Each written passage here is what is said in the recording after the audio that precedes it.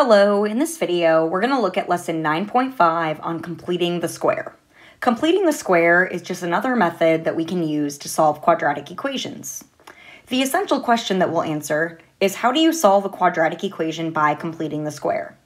In day one, we're just going to learn how to complete the square, and then in day two, we'll learn how to actually solve a quadratic equation by completing the square. So let's go ahead and get started. To understand what it means to complete the square, it's helpful to visualize it using algebra tiles. Because with algebra tiles, we can actually complete the square and turn x squared plus 6x into a perfect square. You've probably seen algebra tiles before. If not, I'll teach you how to use them. With algebra tiles, there's three main parts. You'll see a blue square that's x squared, and if it's x squared, each dimension is x, because x times x makes x squared. Then there are green rectangles that are the same height as the x squared box, so that this dimension is x, and then it's 1 wide. x times 1 makes the x. And then the last piece that you'll see is a 1 tile. And the 1 tile is going to be the same width as the x tile, and its dimensions are going to be 1 by 1. We have a link to virtual algebra tiles in the 9.5 folder on Schoology. So let's use these tiles to model the trinomial x squared plus 6x. Go to the 9.5 folder on Schoology and click on the virtual algebra tiles link. You can either use the algebra tiles right here on the Schoology page, or you can open it up in a new tab by clicking this link box. I'm going to open it up in a new tab so it gets a little bigger for the video. There we go. I'd recommend that you add the labels to your algebra tiles. So if you check this box, that'll add the labels, and now we can see the x squared, the x, and the ones tiles. Let's begin by modeling x squared plus 6x. So you just grab one of the x squareds and move it to the board.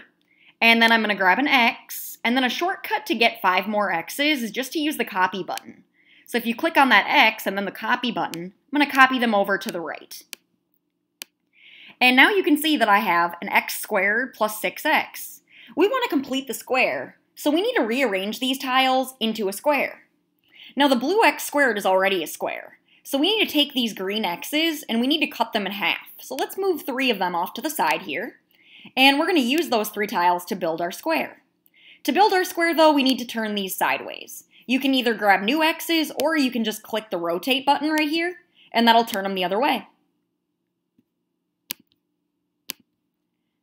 All right, so I'm moving three of these down here. And now you can see that I've rearranged them to form a square. Now we just need to fill in this part right here with the ones tiles. So grab a one tile, and then to copy it over, you can click it and just copy it until you have the entire square filled in. You'll notice now that we have x squared plus 6x plus 9, since there are 9 1 tiles. That means the number that completes the square is c equal 9. So we just completed the square right there. x squared plus 6x plus c, we just found that that c value has to be 9. Then, if we want to factor it, we can look at the dimensions of the square. Remember that the blue x squared is x by x. And the green x tiles are x tall, and they're 1 across. So this is 1 right here, and since there are 3 of them, that would be x plus 3 here, and x plus 3 there. So our perfect square, x squared plus 6x plus 9, factors to the square of a binomial, which is x plus 3 quantity squared. Remember, x plus 3 squared means the same as x plus 3 times x plus 3.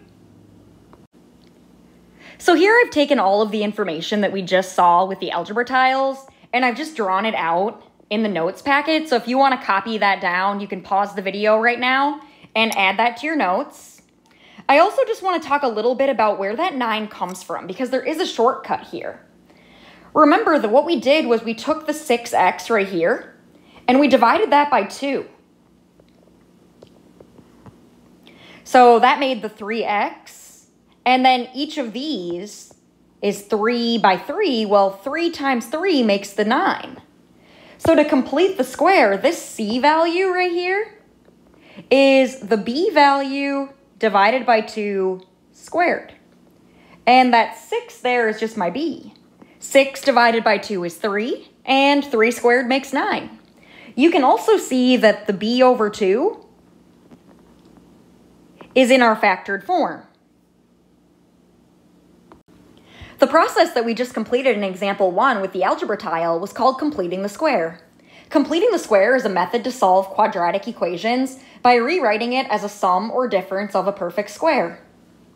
This process is going to be useful when the quadratic is not factorable and when a is equal to 1. When a is equal to 1, that just means that there's no number in front of the x squared term. So it's just a 1x squared.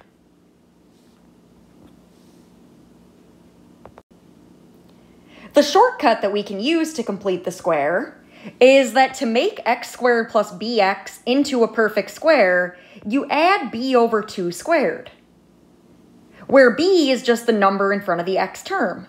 So you take that, you divide it by 2, and you square it, and that value right there, that's the c value that we just found in the previous example.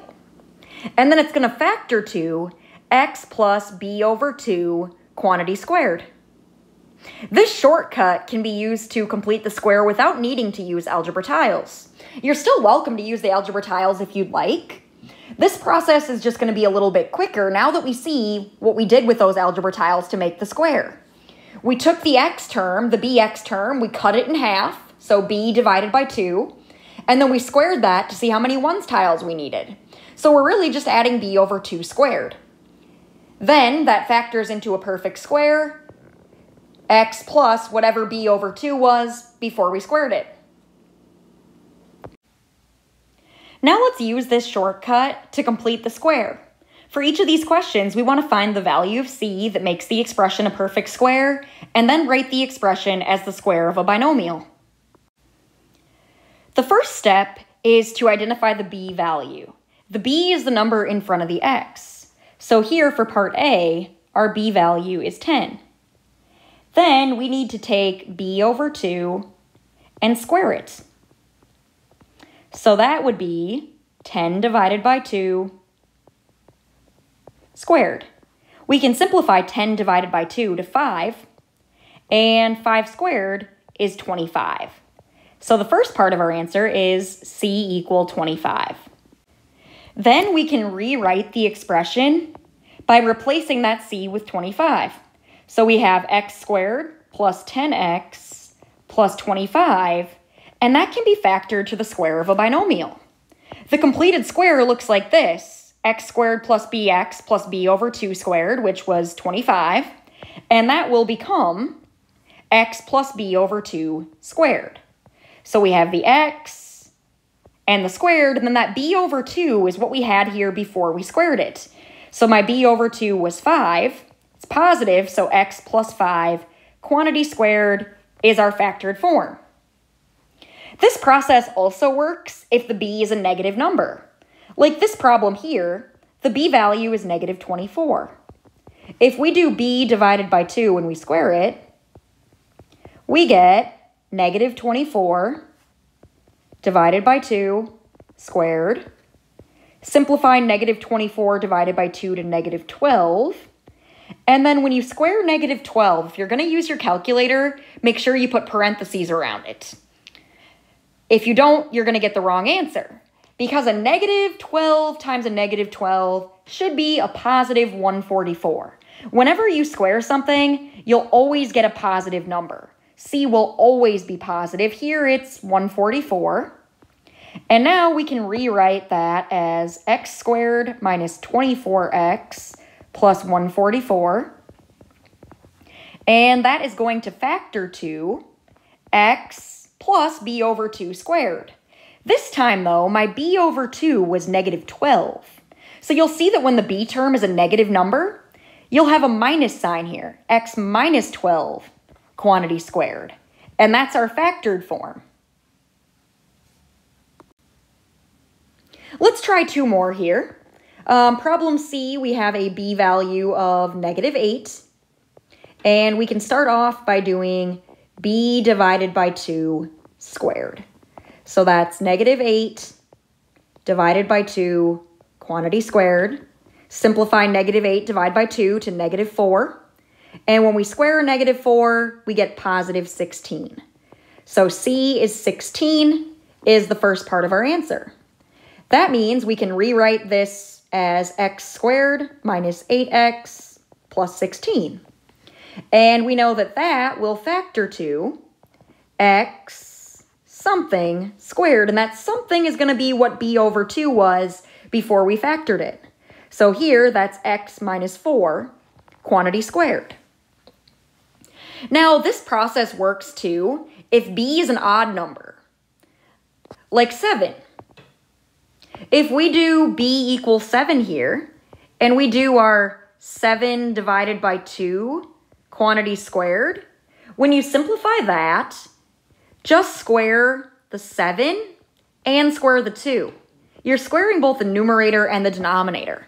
I want you to leave it in fraction form, so please do not rewrite 7 over 2 as 3.5. You're going to leave it as 7 over 2 squared, and then just square the numerator and square the denominator. And now 7 squared is 49, and 2 squared is 4. So that makes the C value here 49 over 4. That's the first part of the answer. Now we can go ahead and factor the trinomial here. So we have x squared plus 7x plus c, which is 49 over 4. And that is going to factor to x plus b over 2 squared. Now remember, the b over 2 was what we had before we squared it. So our b over 2 is just 7 over 2. And we're still going to leave that as a fraction, so your factored form would be x plus 7 over 2 quantity squared. Here's two try now problems for you to try on your own. Go ahead and pause the video and give this a try. Please pause the video now. All right, here are your solutions to the try now. On number one, uh, b divided by 2 squared was 22 divided by 2, so 11 squared gives us c equal 121. Then it factors to x plus 11 squared. Number two, we had a fraction here for b over 2. Negative 9 divided by 2 doesn't divide evenly, so just square the negative 9 and square the 2 to get c equal 81 over 4. Then the um, trinomial factors to x plus b over 2, but that b over 2 was negative 9 over 2. So you'll see x minus 9 over 2 squared is the factored form. And this concludes lesson 9.5 day one. Thanks for watching. Bye.